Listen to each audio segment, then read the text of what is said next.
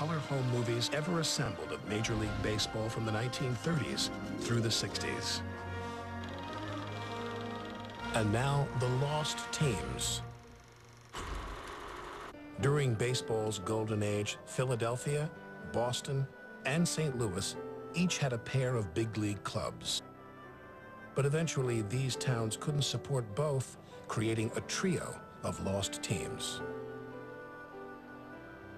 To be the second team in a city was to be barely a team at all. You have to learn the art of recognizing small pleasures if you're a second team in a city that doesn't win. Such was the case of the St. Louis Browns of the American League, who for 52 years played second-class citizen to the NL Cardinals. I can remember as a 16-year-old kid selling soda at a Cardinal ball game, you could make $5 because you got a nickel for each soda you sold. In a Brownie ball game, you'd be lucky to make 50 cents. There was one year that the St. Louis Browns home attendance for the full season was about 85,000. Not for a weekend, for a full season. It wasn't even the second team in St. Louis in those days. It was probably the second and a half or maybe the third team. There were so many great players that the Browns had, though, back in like the 1920s. They had players like George Sisler.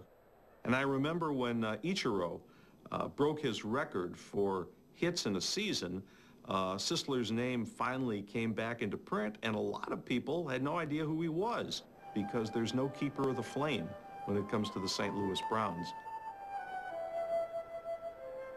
Following the 1953 season, the franchise moved to Baltimore, rechristened as the Orioles. On September 27th, 1953, the Browns played their last game. I was playing in that game, and uh, they didn't have enough baseballs to finish the game. So the foul balls would go up into the stands, and mm-hmm. the uh, public address announcer had asked if the fans wouldn't please throw the ball back down on the field so we could finish the game. I have become a trivia question for having driven in the last run for the St. Louis Browns. It'll still be the record until somebody decides they want to bring a major league team back to St. Louis and call it the St. Louis Browns, but I don't think that's going to happen. Then there were the anemic Boston Braves. With the Red Sox owning the city's heart, the Braves existed as the bastard team of Beantown. They were owned by a man named Emil Fuchs, knew nothing about baseball, but figured I'm signing the checks, I might as well be the manager as well. They had a lot of, of rough years. They were not one of the better clubs in the National League. People might remember Babe Ruth finished his playing career with the Boston Braves in 1935. They ended up leaving Boston for Milwaukee in 1953.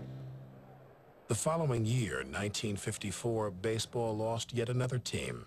For over half a century, Philadelphia was the home to both the Phillies and athletics. But the city of brotherly love showed a diminishing affection for the A's, as did everyone else for that matter. Well, I grew up outside Cleveland in a little town called Berea. And we were strictly Indians fans. And they used to give tickets. And of course, they never gave you tickets for a good team. It was usually Philadelphia. But at one time, the city's American League franchise was the premier ticket in town. The A's had been one of the giant and celebrated franchises of baseball in the 20s with the great Mickey Cochrane and Jimmy Foxx. Connie Mack had assembled all these stars like Al Simmons, Lefty Grove, and George Earnshaw. And by 1929, he had built a dynamo of a team. As both owner and manager for the club's first 50 seasons, Connie Mack was the Philadelphia Athletics. The image of Mack's angular frame and suit and straw hat was as much a symbol of the franchise as the elephant on its sleeves. Regrettably for Mack, the A's fortunes at the gate rarely matched their fortunes on the field. So he routinely sold off his best players, dismantling a would-be dynasty in order to keep the franchise afloat. After that breakup of the team, The Philadelphia Athletics took the elevator to the basement and stayed there year after year after year. During the 1954 season, it suddenly became apparent that the A's were in big trouble. I went to see 45 games they played that year, and they lost 41 of them. It was a pretty bad team, and that's basically why the A's ultimately were the team that left town.